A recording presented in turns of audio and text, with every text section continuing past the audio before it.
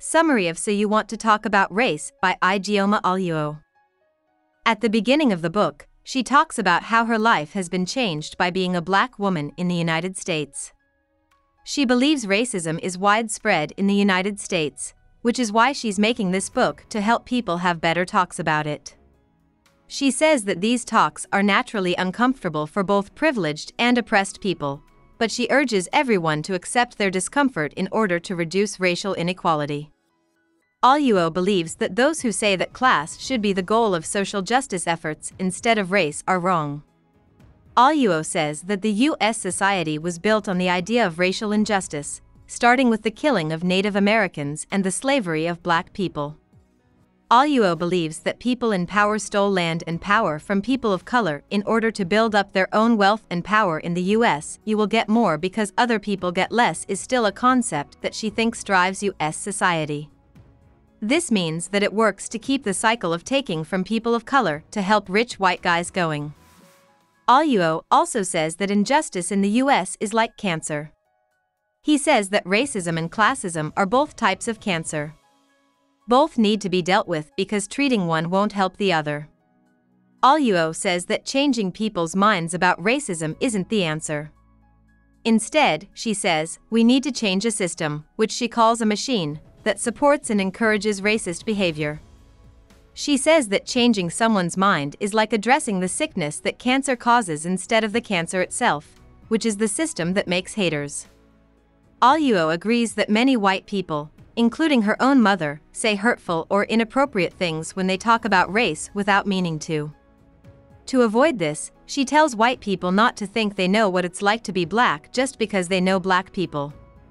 She also tells them not to demand that people of color learn about race or that their tone of voice be regulated, since this is like asking people who are already struggling to do extra emotional work. Oluo then talks about power and diversity. She says status means having some benefits in life that other people don't have. Oluo says that if it's easier for her to get a job because she's a light skinned black woman, it's because her bosses think that black women are less smart than white women, which is racist.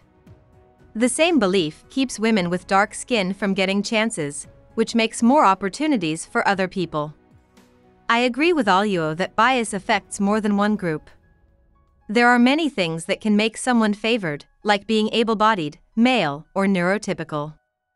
Oluo says people should try to get rid of the unfair situations that give them extra power by using the extra power that their advantage gives them. For Oluo, that's what check your privilege means. Using race theorist Kimberlé Crenshaw as an example, Oluo adds to the idea of intersectionality by saying that social justice groups fail when organizers don't think about their own advantage in relation to other people in their group. Women may feel oppressed compared to men, but they may not realize how favored they are compared to other women, who may also be oppressed by racism, ableism, transphobia, classism, and other things.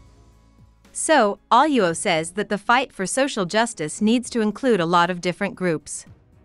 Feminists, for instance, should fight against all the things that make life hard for women, even if those things don't directly affect them. Oluo then talks about police violence and affirmative action. People of color in the US are afraid for their lives when they are pulled over by police, according to her. Sandra Bland died while in police custody after being stopped for a traffic violation. Oluo says the problem isn't just a few racist police officers. Instead, it's about the ways that society supports racist ideas, like the media and news cycle that constantly portrays black people as violent and dangerous, and lets police act on those ideas by letting them abuse, jail, and kill black people more than white people without being held accountable. So, what needs to be changed is the system. Oluo believes that policies like affirmative action, which can be used to pay college scholarships for people of color, do just that. She says that these kinds of programs don't try to give people of color unfair benefits, instead, they just try to lessen the effects of a system that leaves people of color out too often. Oluo adds to this idea when she talks about the pipeline from school to jail, which she says is another result of racism that is built into the system. As Oluo puts it, structural systems like media portrayals of black people as violent thugs teach teachers in a sneaky way that black kids are more likely to be violent. This means that when kids of color act out, teachers are more likely to see it as aggressive behavior. As a result, they are more likely to suspend, expel, or name these kids with learning problems. These punishments stay on kids' records, which makes it harder for them to get into college and more likely that they will end up in youth detention and then jail, because they have a history of disobeying rules. It also teaches black and brown kids that they will get in trouble for being too excited, loud, or unruly, which takes away their fun as kids. Oluos then talks about racial slurs, especially the N word. Oluo says this term makes people of color think of slavery, murder, and other violent events in the past. So, using these names causes deep emotional pain and makes people of color deal with the emotional work of being hurt while going about their daily lives. Taking care of painful feelings is hard in and of itself, and it takes energy away from other things that people of color could be doing to make their lives better, which makes them even more on the outside. Next, Oluo talks about ethnic plunder. She says that cultural appropriation is when someone takes food, dress, performance styles, symbols, or other things that belong to a culture that is being mistreated. Oluo gives the examples of white rappers, fusion restaurants run by white cooks, and people who wear Native American headdresses or bindis as fashion items. Oluo says that these kinds of actions make race injustice worse. She says that white cooks who serve Americanized fusion food are more likely to get praise from white reviewers. This means that their restaurants are more likely to do well than real ethnic restaurants owned and run by people of color. It's also harder for black rappers whose music sounds different from white rappers to get record deals when white rappers become popular. Oluo says that if it's easier for versions of cultural practices that have been stolen to do well in business than real ethnic versions, then society prefers its culture cloaked in whiteness. Oluo says this means people think that edited versions of things, like black music, are safer and better for US society, which supports white dominance. This is where Oluo talks about small offenses against black people, like touching their hair, asking them where they're really from, or saying that someone doesn't sound black. Microaggressions are used by a lot of people without trying to. This is a sign of a society that normalizes racist behavior, Oluo says. Because they happen so often, Oluo says microaggressions are a problem. They're like punches that hit someone where they're already hurt. A microaggression is when someone of color is treated badly. This makes them feel bad, which makes it hard for them to focus on what they need to do at that very moment. These small offenses happen over and over again, and over time, they hurt their chances of success in life. When someone is told they used a microaggression, Oluo says the best thing to do is to say sorry and accept the pain it caused. Someone hurt a person of color, even if they didn't mean to. Oluo believes that people should apologize for the hurt they caused and learn from it so that they don't do it again. They shouldn't try to explain away the small offense by saying they meant well. Oluo goes back to the subject of schools to say that young students of color are angry because it's becoming more and more clear to them that the system is against them now that Trump is president. All Oluo tells her readers that anger is a normal reaction to the unfair situation of racial oppression. She also tells older people to back up the young people who are fighting back against the systems of power that keep them down. The next part by All Oluo talks about the model minority myth, which says that Asian Americans are good or successful minorities when they are not. Oluo disagrees with this because numbers show that a lot of Asian Americans, especially Bangladeshi, Hmong, and second generation Chinese Americans, have real problems getting jobs and going to school. It's important to be intersectional and include their needs in the social justice agenda as well. Lastly, Oluo talks about how to handle tough feelings when talking about race again.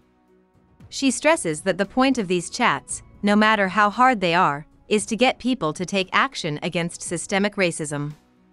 According to Oluo, it is unfair to ask people of color to talk about racism in a nice way. It asks people of color to watch how they talk about racism so that it doesn't bother white people, which is unfair and requires extra work from angry people who are entitled to be angry. When white people are called out on their racism, they often defend themselves because they don't like facing their own racism. Instead of acting out in defense, which hurts vulnerable people even more, Oluo tells these people to take a moment when this happens. Oluo ends by telling her readers that the point of all these tough talks about race isn't to make rich people feel better by letting it all out. Instead, the goal is to get people to fight against a structure that makes racist behavior seem normal. Oluo knows this is a tough job, but he thinks it can be done. Oluo comes to the conclusion that being blasé about these kinds of problems is racist because it lets an unfair system keep going. So, she tells people to do something. In this case, when someone chooses for a district attorney who is more dedicated to fighting police corruption than their opponent, they are taking a step toward breaking down the effects of a white racist system. Oluo says, We can do this together, even though the road ahead is long. About the author Ijeoma Oluo was born to a black father from Nigeria and a white mother. She describes herself as a black queer woman. In her book So You Want to Talk About Race, Oluo writes about many parts of her childhood and parenting. Oluo talks about being poor as a child in the United States and how they often didn't have access to water or power and often went hungry. A lot of her childhood memories are about being poor and being black. Oluo went to college while being a divorced mother of one. She graduated from Western Washington University with a degree in political science when she was 27 years old. After that, she worked in digital marketing and technology while also writing a food blog on the side from Seattle, Washington. A 12 year old black boy named Tamir Rice was shot and killed by police in 2014 while playing with a toy gun. This is the same age as Oluo's own son. This made Oluo start writing about racism on her blog. She speaks out against racism and sexism in popular media, especially when it comes to the black female voice being erased. The book So You Want to Talk About Race came out in 2018. The book got a lot of praise for how honestly it dealt with racism, especially from the New York Times, Bustle, and Harper's Bazaar. Oluo's work is known for using personal stories, usually about racially charged events that happened in her daily life, to show how racism affects society as a whole in the US.